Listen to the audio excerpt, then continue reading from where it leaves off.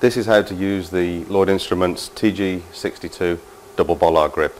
The grip consists of the main body with a fixed pin and also a removable pin.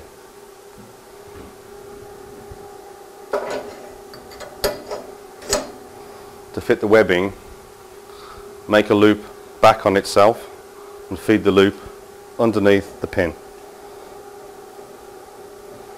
Then we can slide the pin through the top hole.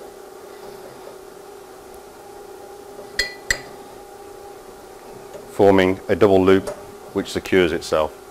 We'll now try a test.